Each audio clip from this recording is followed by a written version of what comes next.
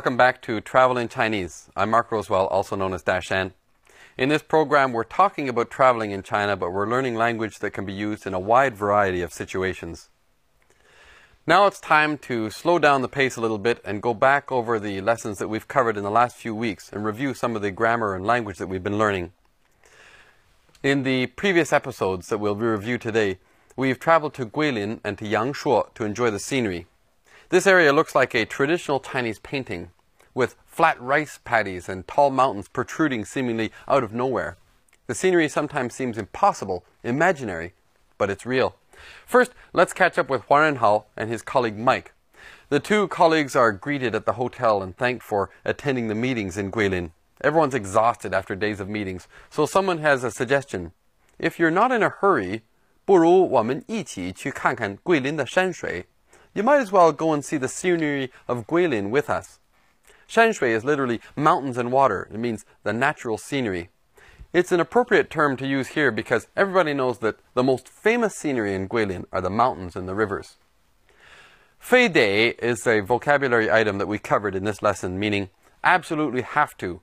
It's often followed at the end of the sentence with 不可 or 才行. For example, 我们这次可非得陪你 多去两个地方才行.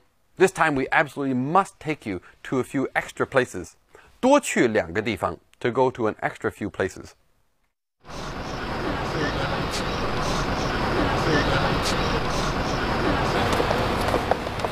哎，黄经理，Michael，非常感谢你们来桂林参加这次会议，希望我们合作成功。好，谢谢。好，连续开了几天的会，把大家都累坏了。明天正好是周末，如果二位不着急回去的话，不如我们一起去看看桂林的山水，顺便也好好休息一下。太好了，啊，我早就听说桂林山水甲天下，可一直没有机会去看看。哎，你们可不知道我心里有多着急啊！哈哈哈！那我们这次呀，可非得陪你多去两个地方才行，把你这两天的损失补回来。那好，明天一早我来接你们。好的，好的，好我们明天见。明天见。好好好。Michael，Michael，原来你在这儿拍照呢，让我一通好找。哎，对不起，对不起，不过这里的风景实在是太美了，我觉得只要把相机举起来，随便一按，就是一张好照片。很多人到这儿来以后都会有这种感觉。怪不得。哎，黄经理呢？难道他也照照片去了吗？没有，他在那边等咱们呢。那边的风景比这边还要好呢。是吗？那快点带我去吧。走。 Now, not all mountains have a story behind them, but there are there are several famous mountains in Guilin. 分别是叠彩山, they are the folded brocade hill, Fubo wave subduing hill, and the Xiangbi Shan, elephant trunk hill. 分别是 is used before a list to indicate that you're going to name or list things one by one. For example, 今天来了二位特殊嘉宾，他们分别是 We have two special guests with us today, and they are then you would go on to name them one by one. As for the stories behind these particular mountains, 至于故事嘛，就要靠你们自己去找了。That's up to you to find for yourself. 至于 is like speaking of or as for. 至于故事, as for the stories. Previously, we covered the use of 不如 to make a suggestion. Here we see the term 何不 Why not? Why don't you?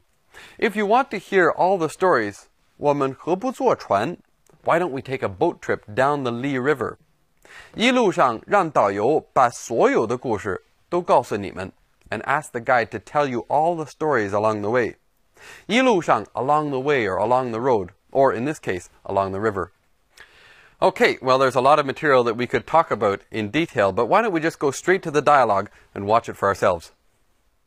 我刚才听那个照相的人说，这座象鼻山还有个故事，这是怎么回事啊？哦，那个故事啊，哎，可有名了。啊，原来你们都知道，那快点说说吧。传说这座山本来就是一头真的大象，它的主人是天上的神仙。一天，这头大象碰巧来到桂林， 觉得这儿的风景太漂亮了，就一直站在漓江边看。而它的主人啊、想让它回到天上去，它却说什么也不走。哎，神仙很生气，就用宝剑啊把它杀死了。哎，你看那山背上啊，还多出一小块的，大家都说那是宝剑的剑柄。啊，是吗？哎，我看看，啊，挺像的。哎，桂林的山都像象鼻山这样有故事吗？在我们桂林有三座山特别出名，分别是叠彩山、伏波山和你刚才看到的象鼻山。这三座山可以说是座座都漂亮。至于故事嘛，啊，还有什么故事？至于故事嘛，就要靠你们自己去找了。行了，小顾，你就别卖关子了，还是告诉他吧。关于桂林山水的故事其实特别多，我们何不坐船顺漓江而下，一路上让导游把所有的故事都告诉你们。哎，太棒了！啊，我回国以后一定要把这些故事告诉我的朋友。是。好，来，我们从这边走。走。好，没错。Like Lijiang, Yangshuo has its own Yangrenjie, a foreigner street. This is a place where you can find international style cafes and restaurants that cater to a large number of foreign tourists that pass through here. The foreigner street is on the western side of town. So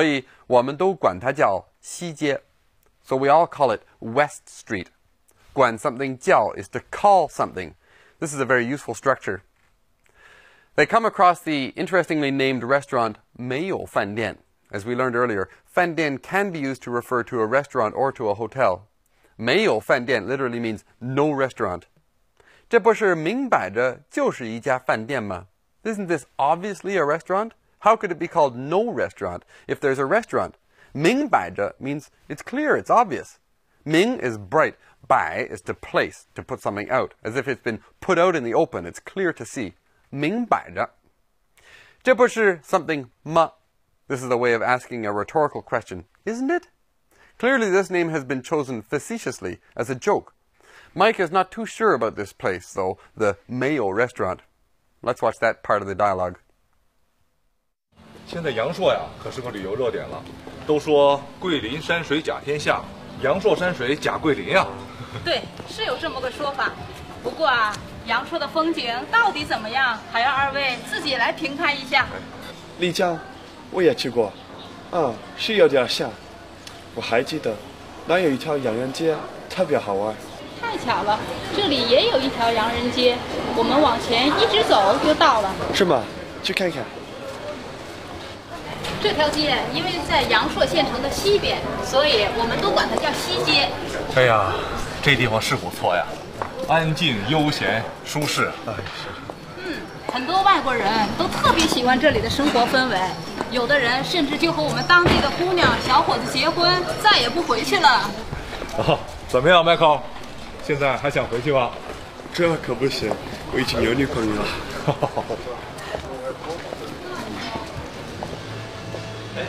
来看，没有饭店，没有饭店，这不是明摆着就是一家饭店吗？不不，您误会了，这家饭店的名字就叫没有饭店。真有意思啊！哪有这么给自己的饭店起名字的？这家饭馆在西街特别有名，很多外国人都到这儿来吃饭。走，我们也进去尝尝。哎，里边不会真的什么菜也没有吧？走吧，进来你就知道了。Unfortunately, there's no way to fulfill Mike's wish of having a photo taken with Liu Sanjie. As a local person says, 连我都不曾见过她. Even I have never seen her before. 不曾 means never. Its use is similar to 没有, as in 我还不曾去过. I've never been there, for example. They can't meet the person, but they can still visit some of the places that Liu Sanjie made famous, like the large banyan tree, 一棵大榕树. There's no singing under the banyan tree today, but they will be able to see a special performance in the evening. 它是以阳朔的山水为舞台. It uses the scenery of Yangshuo as its stage.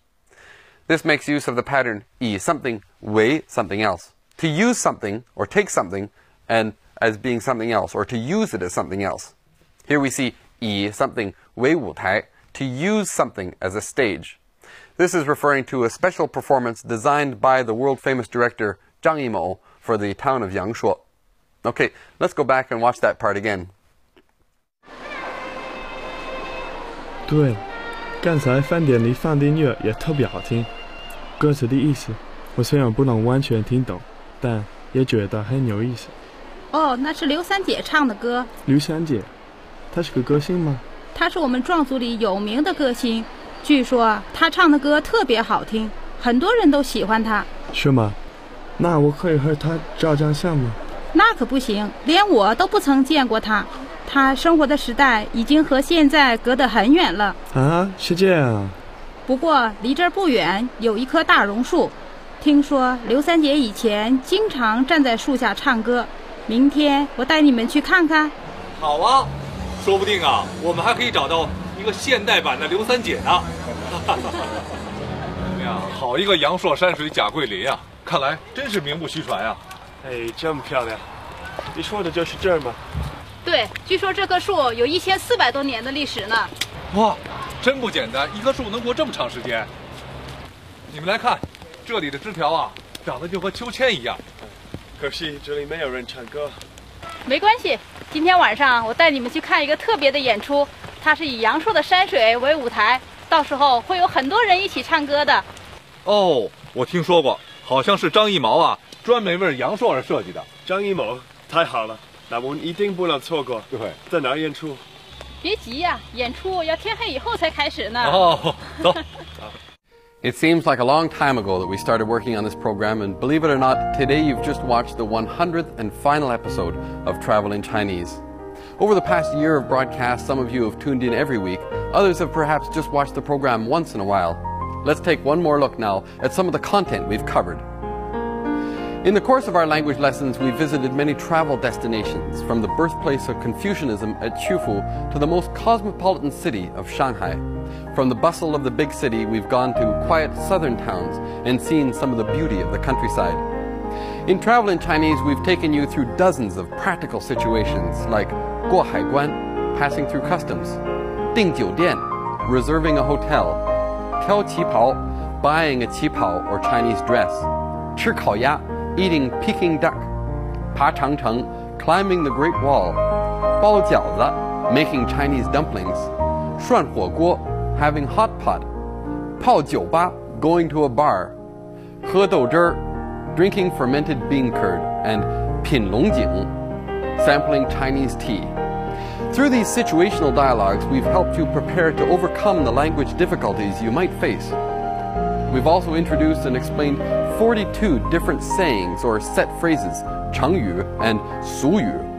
We've analyzed 122 different sentence patterns through a detailed analysis of 148 specific language points. And we've brought all of this language to life through repeated practice, helping you to remember better and to be able to use these language points in your own travels readily and fluently. So don't worry about 碰钉子, running into problems because you're 人生地不熟, unfamiliar with the place and the people. Travel in Chinese gives you the feeling that you are 身临其境, you're in the situation already. We've also talked about a lot of the cultural background behind our language lessons. For example, we discussed the fable of Meng Jiang and explored the origins of 饺子 or boiled dumplings. We've walked through practical situations like getting treatment at a hospital or changing money at a bank. We've been to minority areas to show you vastly different aspects of Chinese culture, from Yunnan's Chama Gu Dao, tea and horse route, and Dongba Wenzi, the written script of Dongba, to the grasslands of Inner Mongolia and the Nadamu or Nadam festival, to the traditional dances of Xinjiang in western China. Well, that brings us to the end of today's review lesson, and believe it or not, to the end of our 100 episode series, Travel in Chinese. Over the last 100 episodes, we've covered an incredible range of material, both geographically, culturally, and linguistically. I know sometimes we've pushed through the material very quickly, but I hope the repeat broadcasts as well as these review lessons helped you get as much as possible from our lessons. Of course, we still hope to hear from you for your suggestions and comments. You can reach us anytime at the contact information shown on the screen.